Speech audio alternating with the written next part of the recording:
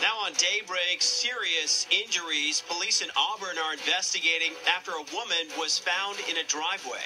Guilty plea.